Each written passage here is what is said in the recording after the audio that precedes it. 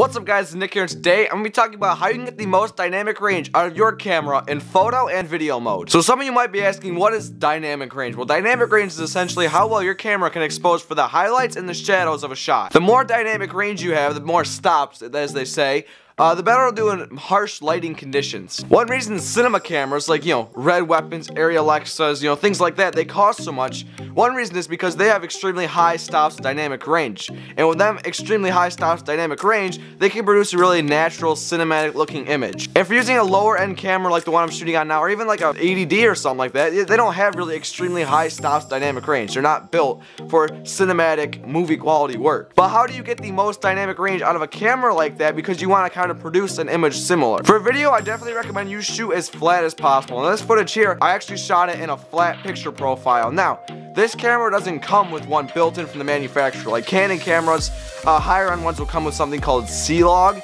which is basically a flat profile built in by Canon. This camera doesn't have it, so I just had to hack my own little profile. I made a whole video talking about that a little bit ago. I'll link in a little end card at the end of the video. Most camera companies' predetermined picture profiles have a lot of contrast in them. They crush the black, so it kind of, it degrades the quality and doesn't have the best dynamic range. But with shooting flat, it opens up the contrast. You know, that's why it's called flat, because the image looks very flat at first. You know, there's no contrast, no saturation.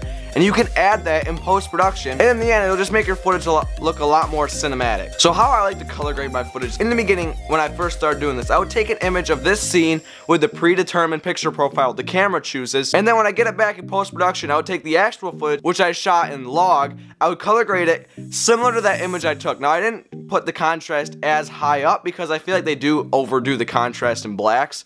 I do it slightly flatter than what the camera predetermines, and I would do a little bit more saturation. But when color grading, it's just a lot of personal preference how you want your image to look, and you can really manipulate that in post-production. So now we're to be talking about photography. With photography, you're going to be able to shoot raw, and some super high-end cinema cameras like the Reds, they can shoot in raw video, but I mean, this is for photography, so I'm gonna talk about raw photos. So essentially, a raw photo is basically untouched. It's not, doesn't have any information burned into it. So a standard JPEG image, for example, this image on screen now, you can see it's really whited out. If I try to bring that back, like, you know, recover that image, I can't because then white overexposed pixels in that JPEG are burnt into it. Now that same image, raw, I can really do a lot more. I can bring back most of that image and make it look pretty decent. And with raw, you can bring back things like shadows and stuff to an extent obviously, and not lose any quality. Alright, so we're gonna jump into photos. That's what I use to edit my raw photos. And I'm gonna show you how you can actually kind of improve the dynamic range of the photo. Okay, let's go. And here we are in photos. This right here is this is the raw photos. You can see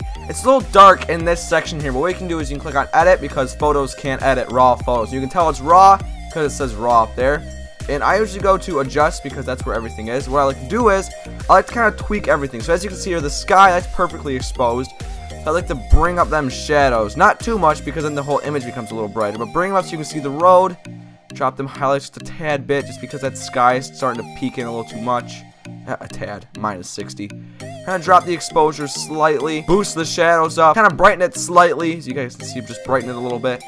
Uh, kind of, I like to kind of increase the contrast a little bit whenever I do this. Kind of drop the blacks. Not too much so you guys see it starts to look too flat.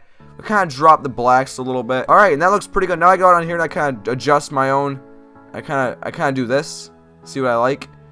I'm gonna, I, I'm gonna put this one about here. I'm gonna make it slightly. Uh, I'll do a little warmer. Cause I, I kind of like the warm look. I'm gonna boost them shadows just a tad bit. Drop the highlights a bit, but I kind of want to keep the highlights. You can see if I were to put this back, now it's way too bright. I'm gonna drop the highlights of the sky. Drop the exposure, but maybe I can boost the height. There we go. It's just a lot of fine tweaking. As you can see, this is the final image. If I revert back to original, you can see that's what it looks like in original. Put these enhancements back on, that's what it looks like. A lot better and a lot more flexibility when you shoot raw. And I can kind of bring back that exposure a little bit.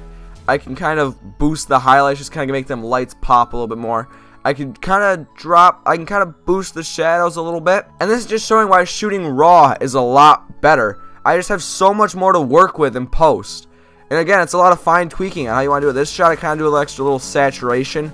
Maybe put that contrast like that. Make kind of make like a cooler cast because this is a lot. This is a really blue photo. And there we go. That's that. If I do the same thing, white, and I do this back, boom, it looks a lot better. And there it is, guys. Just a little quick video talking about how you get the most dynamic range out of your camera and photos and videos. Just as I said, quick, simple, pretty easy to do, so thank you all for watching. I will see you guys in my next video.